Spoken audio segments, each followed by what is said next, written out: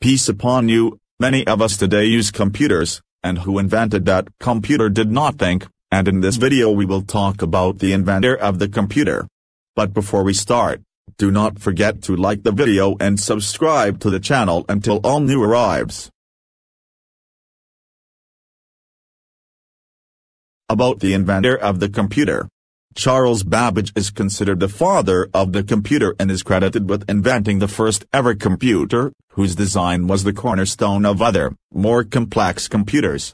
Charles Babbage was born on December 26, 1791, in England, known as a man of science whose experience extends to a large number of fields and became a mathematician, mechanical engineer, inventor and philosopher who contributed to many different scientific fields, but his most famous achievement is the design of a programmable computing device. In 1991, the computer was built according to the original Charles Babbage drawings housed in the Science Museum in London. It consisted of 8,000 pieces, weighing 5 tons in total and 11 feet in length. The engine was built under conditions available in the 19th century. 2. The beginnings of Charles Babbage there was some disagreement over the birthplace of Charles Babbage but according to the biographies of national figures in the Oxford Dictionary, he was born on Walworth Street in London, England. A blue plaque has been placed along the intersection of Larcom Road and Walworth Street to commemorate the birth of this wonderful man. Charles was one of four children born to his parents Betsy Plumie Tippie and Benjamin Babbage. His father was a banker and was a partner of William Pride, who together founded Pride and Company on Fleet Street in London in 1801. When Charles was eight years old, he was sent to the countryside in Alphington near Exeter to teach him and to help him recover from a fever that was about to end his life, and later he also enrolled at King Edward VI Grammar School in Totnes, South Devon, but due to his poor health he returned home he is taught by private tutors.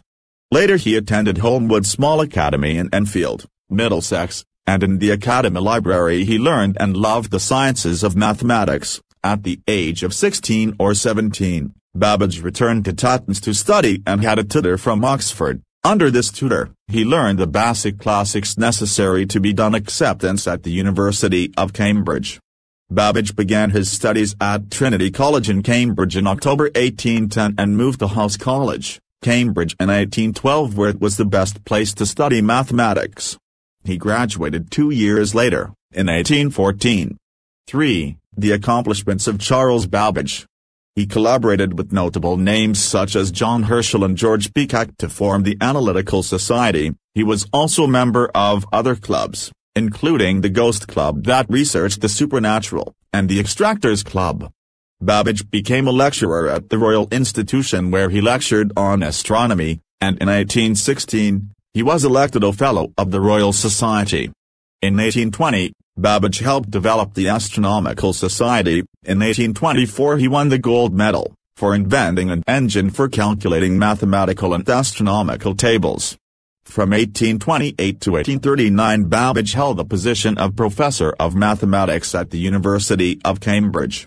Mathematical tables were of great importance in the era of Babbage, as he used to rely on them in navigation, science and engineering.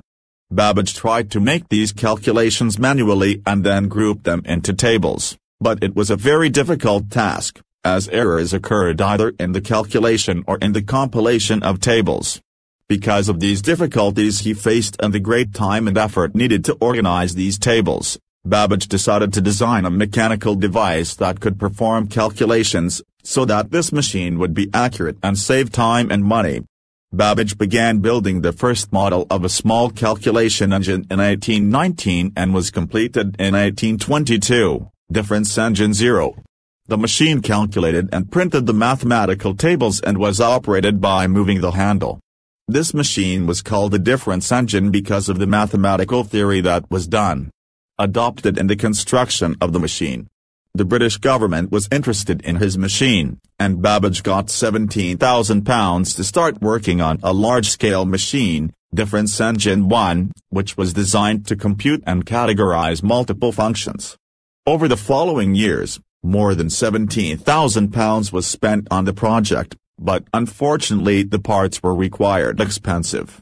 In 1832 a small portion of the work was built, however work on this full-scale differential engine was discontinued in 1833. The difference engine was built having more than 25,000 work pieces, weighing more than 13 tons per linear meter and measuring 8 feet in length. In 1837, Babbage became interested in building a more powerful analytic engine than the original difference engine and upon building it would be the first general-purpose computing computer. It was programmable with punched cards, an idea borrowed from the jacquard loom used to weave various and intricate patterns in textiles, an experimental part created but again not quite complete, and he designed a printer for his new engine. The government decided to stop funding the Babbage projects in 1842. Between 1846 and 1849, Babbage designed a new, improved engine to distinguish it from the first called the difference engine number 2. His machines were considered one of the first mechanical computers ever invented, in fact none of them was completed due to a lack of funding and not due to a design flaw.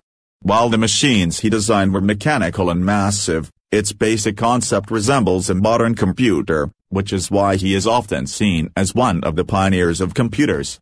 Babbage published his book The Economics of Machinery and Manufactures in 1832 about industrial production which was well accepted. In the book he described what is known as Babbage's principle which indicated the advantages of the division of labor in factories he wrote a natural theological book entitled On the Power, Wisdom, and Goodness of God, as he appeared in Creation in 1837. In 1838, he invented the so-called cow hunter, a metal frame attached to the face of a locomotive that removes the effects of obstacles. Babbage also invented the ophthalmoscope, which is used in eye exams. 4. Charles Babbage's most famous sayings. With each increase in knowledge, and the invention of every new tool, human labor becomes reduced. The errors that result from using insufficient data are much less than the errors caused by never using data. As the work is light by itself, it becomes necessary, in order to save time and increase speed. 5. The personal life of Charles Babbage. In 1814, Babbage married Georgia Whitmore. They had eight children but only three lived after childhood. His wife passed away in 1827, and in terms of Charles Babbage's religion, beliefs and indigenous sect, he was born into a Protestant Christian family. 6. The death of Charles Babbage. Charles Babbage died on October 18, 1871, at the age of 79, and was buried in the Green Kinsale Cemetery in London. The cause of death was kidney failure. 7. Fast facts on Charles Babbage. Being denied a diploma with first-class honors on his thesis deemed blasphemous, Babbage began correcting his reputation through work. He worked briefly on preparing actuarial tables for insurance companies, but he was not practicing there. Half of his brain is on display at the Science Museum in London, and the other half can be seen at the Royal College of Surgeons. 8. You will find the latest news about Charles Babbage, videos and documentaries about Charles Babbage, and the information sources I mentioned to you in this video in the description. In the end, we hope that you liked the video and do not forget to subscribe to the channel until everything new arrives and bye bye.